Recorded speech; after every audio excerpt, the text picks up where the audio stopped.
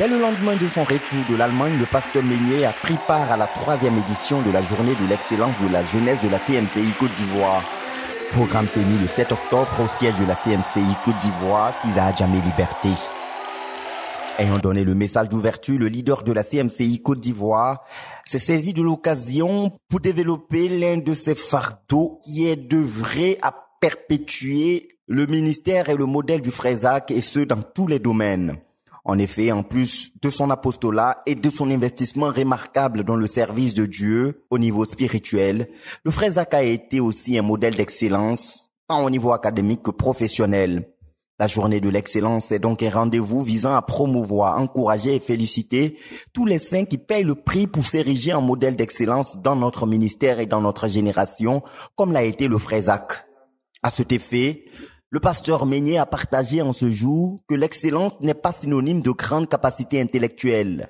C'est plutôt le résultat d'un travail acharné, un travail dur. La vraie excellence, c'est avec Dieu qu'on l'atteint.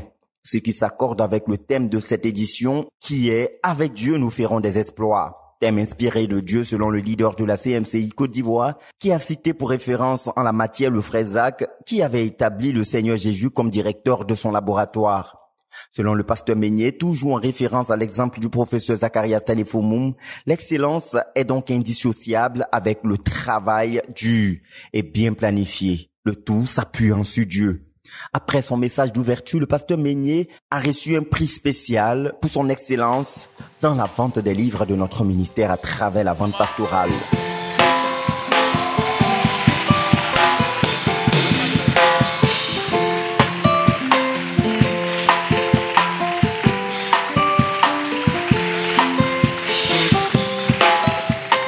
Dieu. Nous rendons grâce à Dieu pour cette distinction. Vous savez que notre leader est un grand vendeur de livres. La vente pastorale. Alléluia. Et nous bénissons le Seigneur pour ce grand prix. Et nous l'encourageons à aller de l'avant. Amen.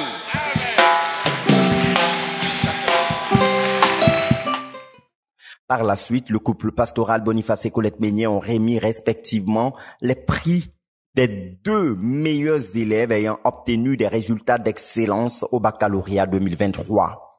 En tout, pour cette troisième édition, ce sont 48 élèves et étudiants allant de la classe de CM2 au master qui ont reçu le prix d'excellence Zacharias Tanefoumum pour leurs résultats d'exception dans leur cursus respectif. En plus, six frères ont été primés dans la catégorie spéciale entre autres le pasteur Maurice Niazebo, qui a été le major national de la dernière promotion de formation des officiers de la police nationale.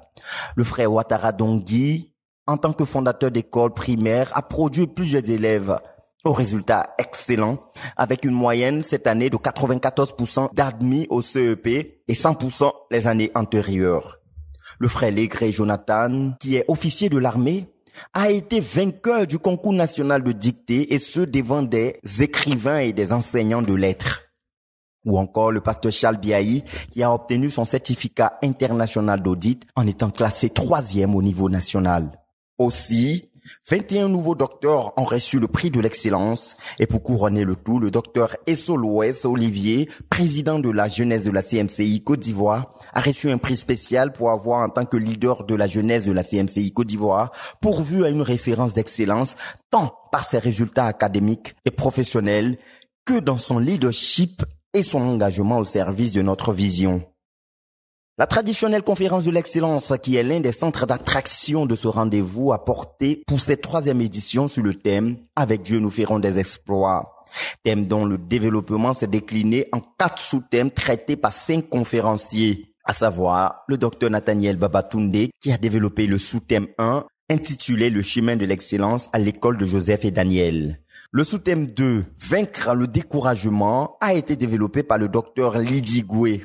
Le docteur Anne-Joséphine Paé et la sœur Antoinette Nguessan ont développé le sous-thème 3, aucun échec n'a besoin d'être final. Et enfin, le sous-thème 4, sa puissance s'accomplit dans nos faiblesses, a été traité par l'évangéliste Antoine Edja.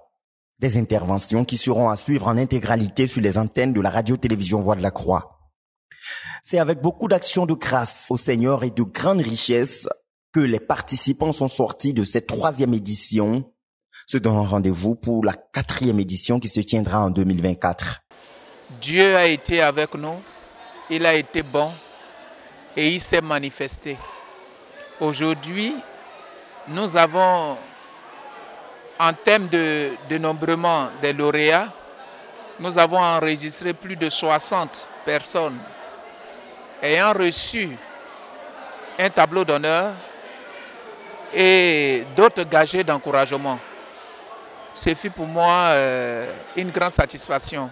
Satisfaction dans le sens que une vision nous a été communiquée, pour ne pas parler de Fado, et nous nous sommes engagés à travailler. On a cru à cette vision. Et par la grâce du Seigneur, Dieu est en train de se manifester puissamment dans l'Église, parmi les étudiants, parmi les jeunes. Aujourd'hui, par la grâce de Dieu, nous venons d'achever notre troisième édition. Les frères ont répondu, ils sont venus nombreux et nous avons pu communiquer, communier entre nous et nous avons reçu des témoignages de la part des conférenciers qui ont été des témoignages très enrichissants, des partages très enrichissants. Et nous repartons d'ici bénis, nous repartons d'ici euh, encore déterminés pour aller de progrès en progrès dans tout ce que le Seigneur nous a confié ou appelé à faire. Nous devons viser l'excellence afin que le modèle du frère Zach soit perpétué dans l'église de Côte d'Ivoire. Que le Seigneur vous bénisse et à bientôt pour la quatrième édition 2024, c'est Christ d'avenir. Je vous aime.